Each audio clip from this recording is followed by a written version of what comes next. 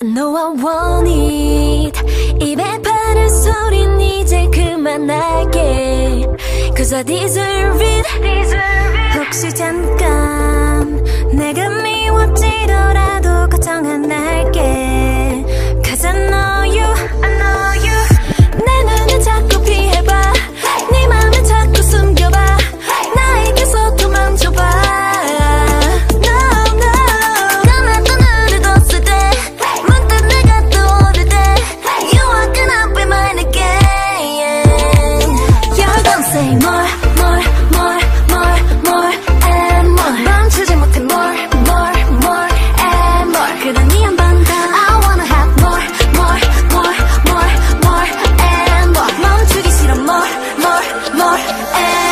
그러니 한 번 더.